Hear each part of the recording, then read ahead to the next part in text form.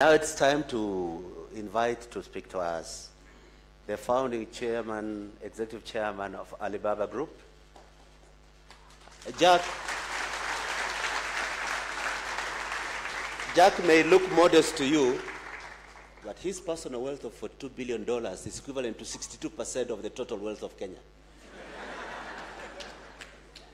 Please welcome Mr. Jack Ma.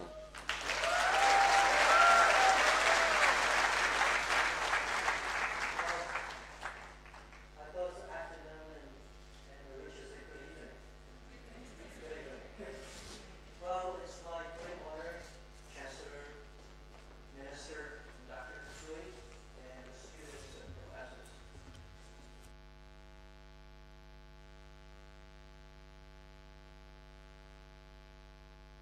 And this is my first day. And this day inspired me a lot. And I, I, I had ex- high expectation before I came to Africa.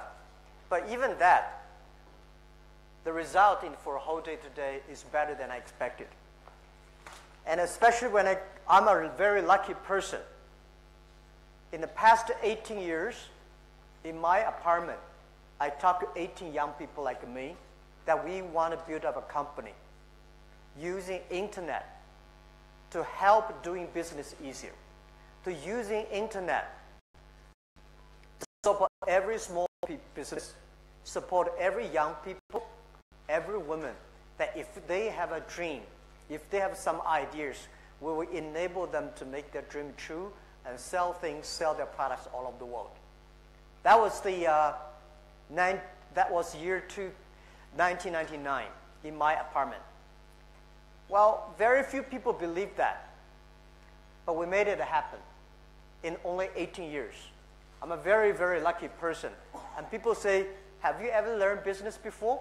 Have you done business before? Have you learned the, like MBAs? No, I have never learned any knowledge about how to do business.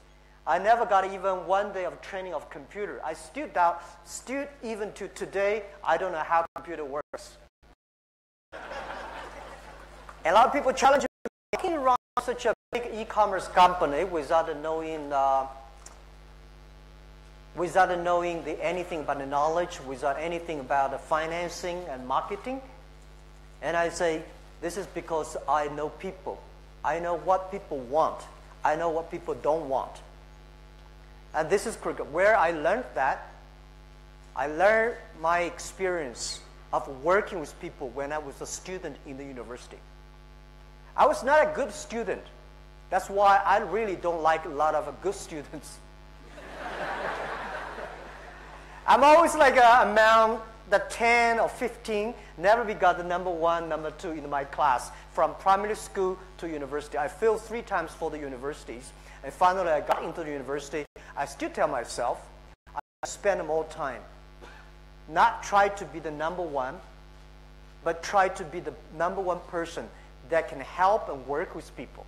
I was elected as the chairman of the Students' Union of my university, and later become the Students' Union, chairman of the Students' Union of whole our city. Our city has over 100,000 students, and I was the chairman of that university, of that union. My job is to work with the people, listen to the students, do what I can do. This I learned how to work with people because at that time we don't have any money. All right? The only thing you want to win the respect is by supporting other people. And when I graduate, I learned a lot from my job, my first job. I was trained to be a high school teacher. And because I was uh, supposed to be one of the best students in the school, so I was assigned to teach in university for six years. And I know one of the secret of being a good teacher is always to finish class five minutes earlier. no matter how wonderful you teach, if you have five more minutes teaching, students don't like you. If you finish earlier, efficient, and teach people, teach the students and share with the students how to learn instead of uh, putting all the knowledge in their mind, writing all the all the things on blackboard, you will never be popular. I was selected as one of the best teachers in the university. But one thing I learned from teachers later become a CEO is that a good teacher always expect his students to do better than him. Stu- the teacher want his students be good. I want this student be a banker, that be a mayor, that be a scientist. You don't want your students, this one bankrupted, that one in jail. you always expect your students be better. This is what I learned when I become an entrepreneur. I always want hire the good people who are smart than I am, and always making sure that they are better than I am. They always hope that they're better than expected. And if you want them better, training them, disciplining them, supporting them. So I learned a lot. The thing I learned most is being a teacher. I call myself CEO, Chief Education Officer of the company. So in my life, I'm telling people my age. I'm, I'm 53. In my past years, I'm always a good student. Keep on learning. You don't have to be the best, but you have to know who is better than you are and work with him. And always be a good teacher.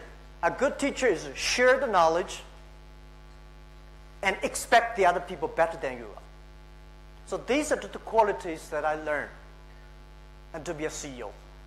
So go back to this campus is always what I want. I remember 1994, the day when I decided to leave college, go to do a business. My president said, why, why you want to go do something that called internet? There's no internet in China at that time. And why you want to? Because I said, President, I've been elected as the best teachers for university for three, three years. Everything I told my students are the things I learned from books. So if I go and build up something and then go back, I can be a better teacher. This is my original thinking. I never thought I would be rich.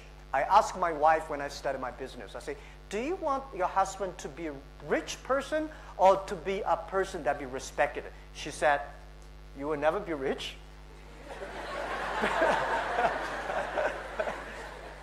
I, she's right.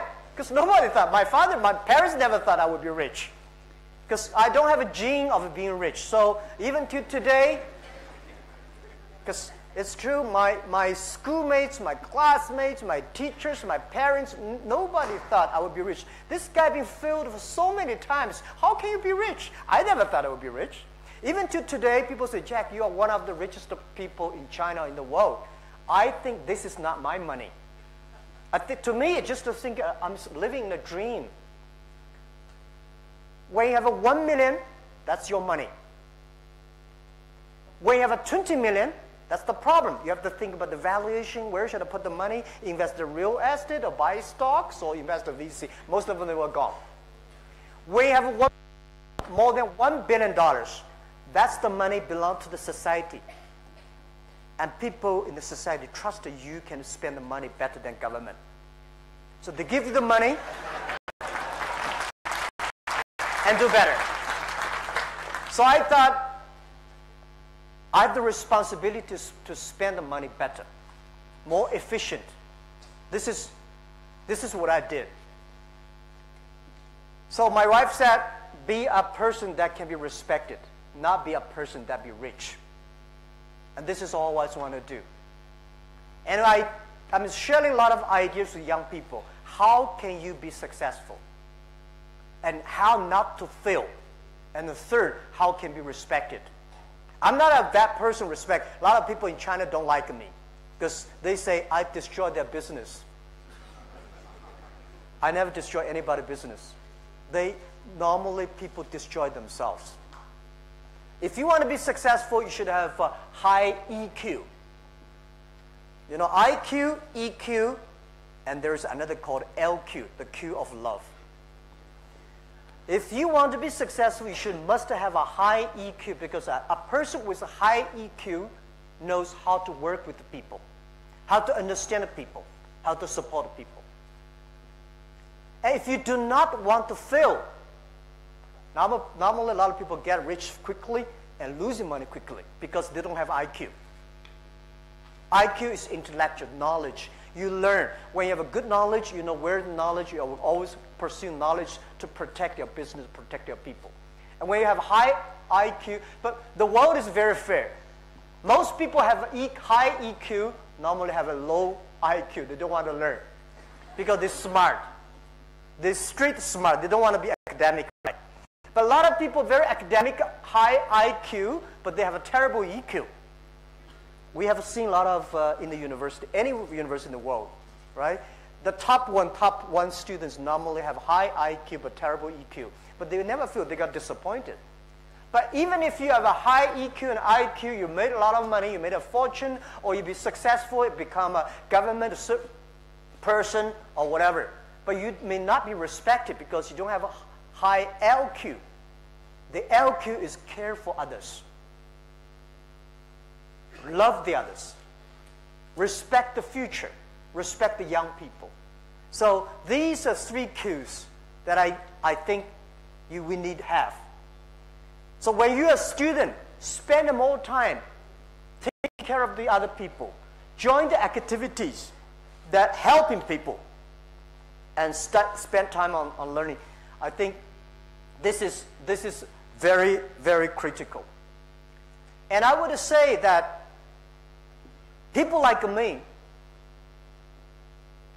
I'm from nobody.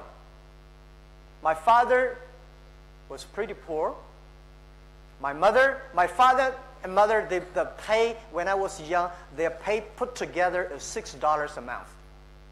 Six, no more than the, the best of time is eight dollars. They have to feed four people. My grandfather, no job, me, my brother, and my sister. It was tough. And even if I failed so many times, one thing I want to tell God is that failure does never stop me and trained me. A lot of people failure and then they complain, oh my God, nobody helped me. I don't have this. Why do people don't help me? Why I don't, cannot get, borrow money from the banks? Why I'm not born in a, in a Bill Gates family? People have a lot of stupid complaints. I have these stupid complaints. All the complaints today young people have, I have them. I had them. I complain Bill Gates, I complain Microsoft, Oracle, all these companies taking all of our jobs because we don't have chance. And later I found complaint does not work. I learned from Mr. why people should help you. Who are you? Why people should help you? Nobody help you. That is very common. People help you. That is uncommon. Those people give you the help. Think about this is the trust. This is how you did well in your EQ. You, because you care for people. Because you have something good, then people start to help you. I was rejected for so many times, as I said this morning. Over, over 30 jobs applied for rejected. I applied for a KFC. 24 people, classmates went there together. 23 accepted. I was rejected.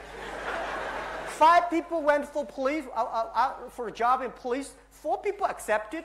I was failed. And my cousin and I waited for a two hours long queue to be the waiter of the four star hotel in my city. In a very, very hot day, my, bro- my cousin's score was much lower than, I, than mine. He was accepted, and I was rejected. So, it, it, is, it, is it fun? No, not fun at all. It's very painful. But I get used to it. Everybody, remember, you have to get used to failure.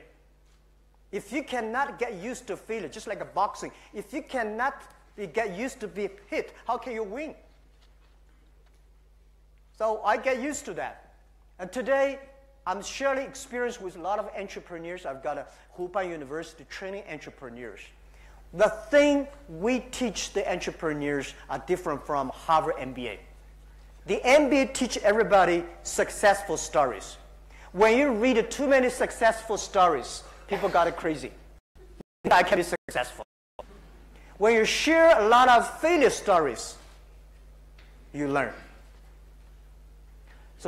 I, when I start Alibaba, I give failure stories, cases to every of our co- my colleagues. Let them read it. Let them we discuss. No matter how smart you are in your business, in your way, you will make the same mistake again and again. The way we teach, share the failure story, not want you to avoid mistakes, is teach you how to face the mistakes when you're in trouble. So, as young people, in our life, there is always opportunity. There is always chance. There is always a failure. The thing is how you survive from failure. When you're rejected, how you survive from that. This is I learned. Uh, even to today, people say, Jack, you are probably one of the most influential people. Anything you want to do, you can do it. No. A lot of things I cannot do. A lot of things.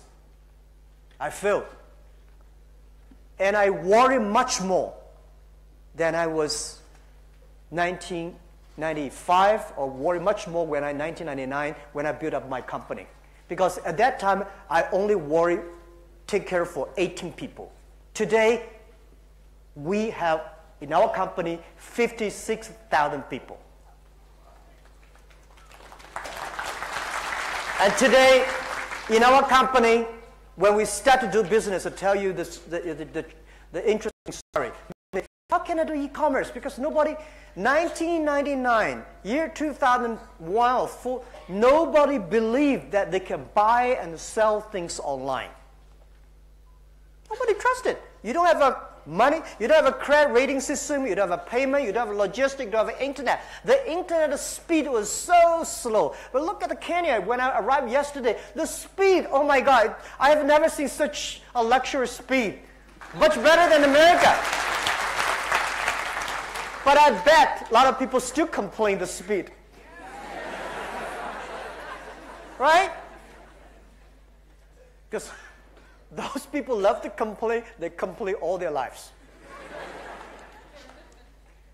the speed was bad, nothing. The government is not ready, and sometimes, uh, oh, not sometimes, most of the times, if the government did not know what's going on, it's the opportunity. If your people around you does not agree with you, that's the opportunity. If everybody love it, if everybody want to do it, there's no opportunity for you because the other people smarter than you are.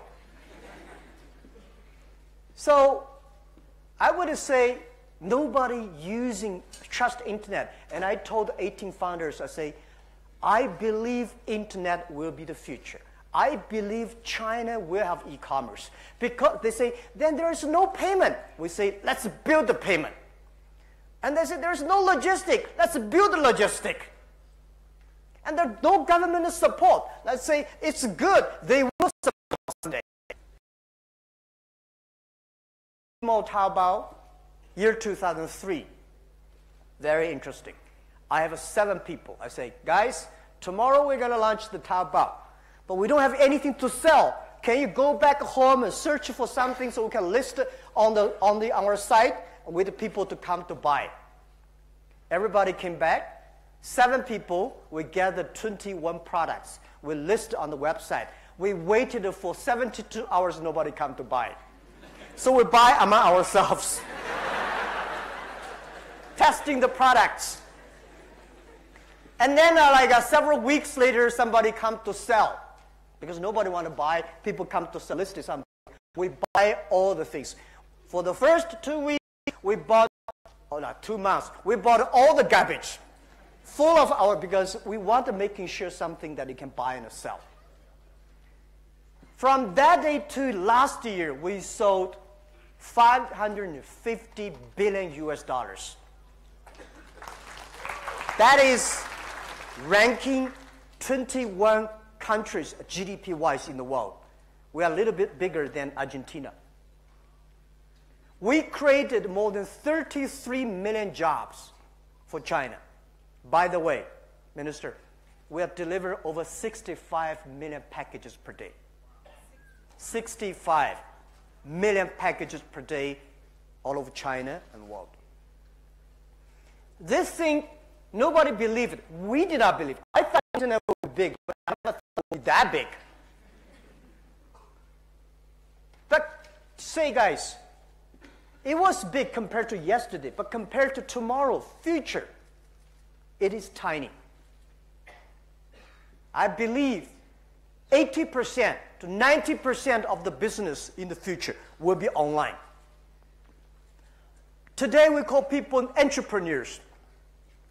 Few many years later, we call netrepreneurs because everybody has to be online, called the net entrepreneurs. Today you can only sell in Nairobi. You're a good successful person here, but in the future, if you cannot sell your products all over Africa, if you cannot sell things across, the countries, you're not a business people. The world is changing very fast. And I'm not scaring you guys. I worry about the new technology. This is the third technology revolution that a human being face. The first technology revolution takes about 50 years. Second, 50 years. This is 50 years. We're going to have another 30 years, which is very important. The first technology revolution caused World War I. Second technology revolution caused World War II. And this is the third technology revolution. The third technology revolution reduced the human energy. So we know human are not as strong as machine. The second technology revolution released the distance, speed of human beings. So we know we can never run faster than trains. This technology revolution released the human brains. So don't, don't be scared. Machine will be smarter than we are. And imagine, past 20 years, we make people like a machine. In the future, we'll make machine like a people.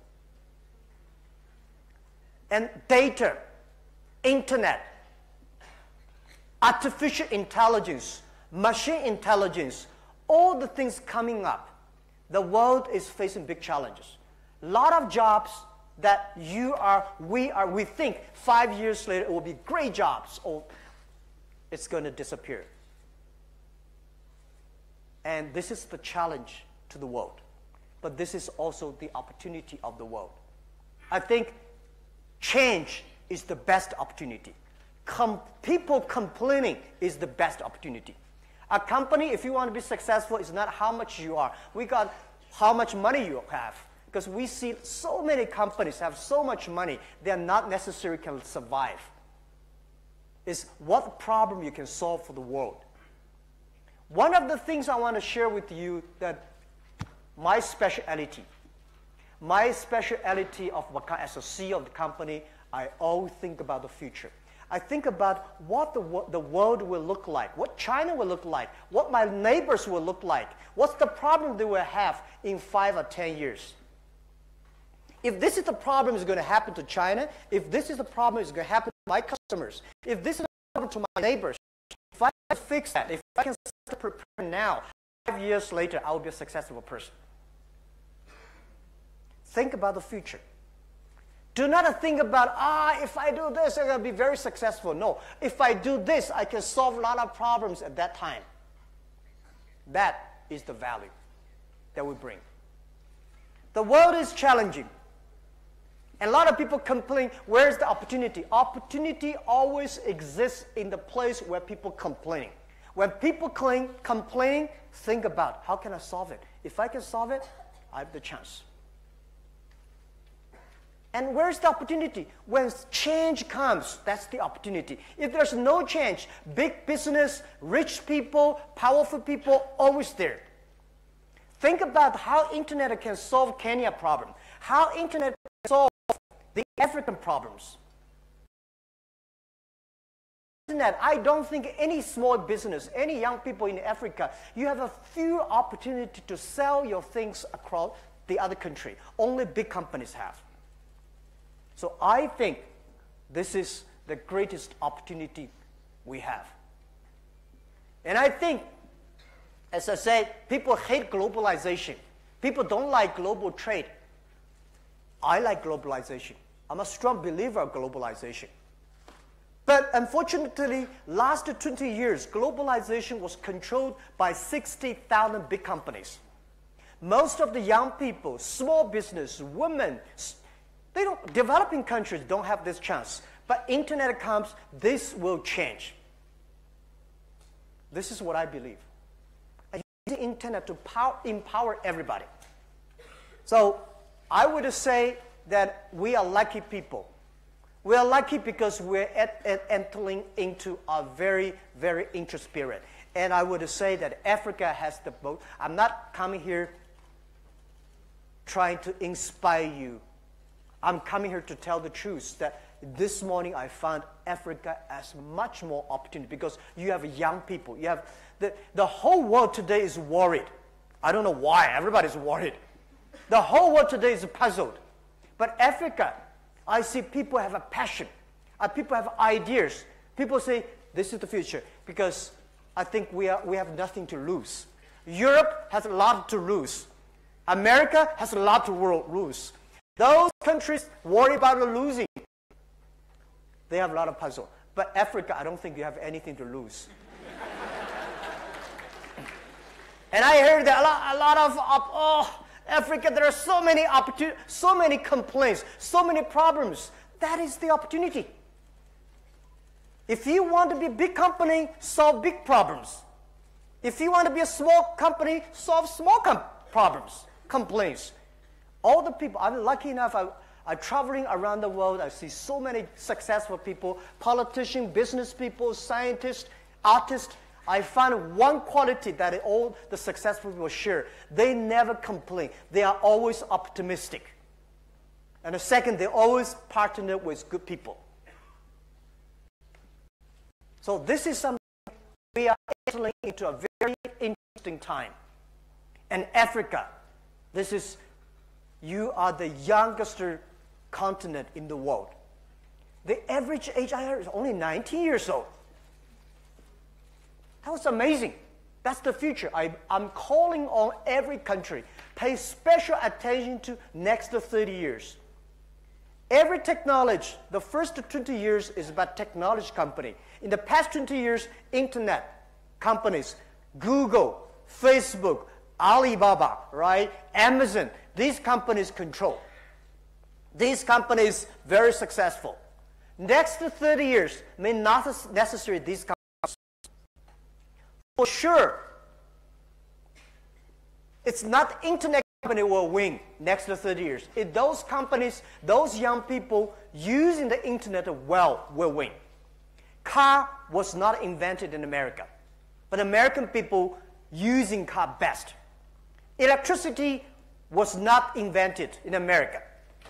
But Americans using electricity best. So Africa, we have a terrible, people say we have a terrible internet infrastructure. But I think this is the chance. Why e-commerce grow in China grow better than America? Because we don't have sophisticated e-commerce infrastructure like in America. In America, there are a lot of supermarkets and malls and everything is so good. China, no. We don't have a payment system. We don't have a credit rating system. Because we don't have that, so we start with high. China, when I started the e-commerce, people say, even China don't have a telephone. Why you believe internet will happen? Yeah, we don't have a telephone, then we have a mobile phones. Nobody expect mobile phone growth so fast. Africa today, I think more than 60% of the people in Africa have a mobile phone. The mobile phone today is much more powerful than, than the PC. I'm lucky I did not study PC. With a mobile phone, you connect to the world, right? So this is what I feel that Africa, that the poor infrastructure may giving you the opportunity never, you never even imagine. So the thing that also I want to say, I heard so much about Kenya and Africa. Is it the, you know, the, the forest, the animals, the what? You are guys living in the paradise. Think about China. China is the kitchen of the world. Very dirty now. The air pollutions. So Africa developed. You don't have to follow the other country's model. Africa should be Africa. Using the new technology, prevent, protect the environment, protect the animals. It's easy to build buildings, but it is difficult to call the animal bags. It's impossible, right? Tell me where in this world you can see so many elephants flying, still walking. Tell me where in this world you can still smell the real atmosphere, the new air. That's what, now I understand when I'm arriving why so many people come to Africa every year and go on, on, on. There's no business here, but you have a business to leverage that. And think about it. if you want to build up a manufacturer base, think in a different way. It's impossible to copy China. And even if you copy China, you have no future. Because the world manufacturer is shifting from B2C to C2B. Normal way is business think about something and sell to the consumers. In the future, because of data technology, every manufacturer should be C2B, consumer to business. The manufacturer has to make their products smart, tailor-made, not large scale. China grow in the period of large container, massive assembly line. Future assembly line is not how many t-shirts you can make for one assembly line with one hour. In the future is how many different t-shirts you can make how many tailor-made t-shirts you can make. So this is something the world is changing. Africa have to think about the way that Africa is good at. And I would say I would do anything to change if I can be younger. Tell you one thing. Year 2000, year 1999, I'm lucky enough to, to find one of the early founders of Yahoo. He was number 40 employees of Yahoo. He joined us, become the CTO of the company. And I asked him, what do you want? He said, Jack, oh, you guys are young. I would spend $1 million to buy one year. I said, I sell all my age to you. Today I realize that young age is something that is the best opportunity. Don't be scared of failure. My assets is so many failure stories. There are a lot of stories about us, about me, but none of the books I read about me. Someday, I may write a book. The book's name is Alibaba 1001. This is the best assets that we need to have. Learn from the mistakes. Learn from other mistakes. Not because you want to avoid the mistakes, because when you face these mistakes, you know how to face it, how to challenge it. And this is critical. So I want to share with all the young people here, students, never give up. There's always opportunity there. It's easy to give up keep the hope. The world is challenging, but this is opportunity for young people. E-commerce, internet is the opportunity for country like us, Kenya, China. The best of people say, well, e-commerce, China's no good. The, the best place in the world for e-commerce, where? Tell me. I think Europe. You have everything. But why Europe has no internet good internet companies or e-commerce company? They worry too much. They worry about privacy, security, laws, government ready this, government not ready that. When you worry too much, you're scared to move forward. Don't worry. If you make mistake, try again. And find the good people. Innovation is not from the government. Its innovation is from your customer from the market. And finally, I give, if you want to be entrepreneur, I give you advice. Always remember, custom number one, employee number two, shareholder number three. This is different from America, shareholder number one. I believe custom number one. If you make your customer happy, they will pay the money. If you make your employees happy, they will be creative, innovative.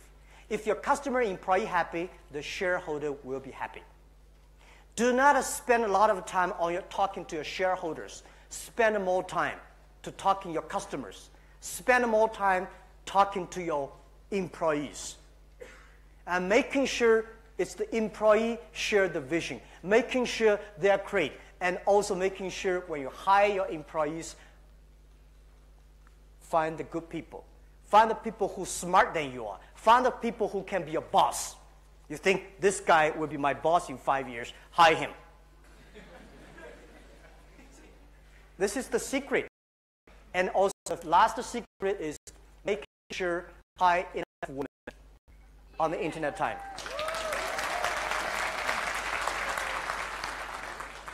This is, this is the, one of the secret source of success for Alibaba. We have 47% of the women, 47 to 48% of the colleagues in our company are women. We have 33% of the senior management of our company are women. Not because we want to keep women. We find women can do much better job on the internet time, on the e-commerce. When I start a business, I say e-commerce is not about a computer to talk, talk to computer. E-commerce is about a people talk to people, but computer is just the proxy, is the front edge. Women take care of the others better than men. Women understand. Women have much high EQ than men. When you have IQ, you have to care about the others. See, when you're online, the engineers, I've got a lot of engineers, they have a high IQ. They make good program, but they never care whether the program is user-friendly or not. But women make them very user-friendly. And women really care about the customers behind. This make our, car, because people like me have no background of technology. The only thing I want to do is make my customer happy. How can I make customer happy? We got a lot of people, and we have a women engineers, women CFO, women CEO, women president. So keep on that. Remember, this is so important. This is why we are seeing so many women presidents, women prime minister. I think we're going to have a women secretary general of the United Nations. and we need that. And a women chancellor. so that is something I want to share with you. Uh, I'm not a politician, I'm a business people. As a business people, we're result driven. We're efficiency driven. We're fair driven. We're result driven because you have to get result. Otherwise, you only talk. No result, you die. And for advice I give to Kenya, Africa, is speed up. You know what I'm saying? For one day, I, I get some feeling we have a vision, but you have to. And the second is efficiency driven. And the third, third, business people can never force people to do business with me. It's about a fair trade. So I would say, let's move up. Africa will be the next driving source or driving energy of the world after today's Asia. And this is what I truly believe. And uh, I come here, I don't want to sell anything to you guys. I want to help you to sell your great stuff to the world using internet. Thank you.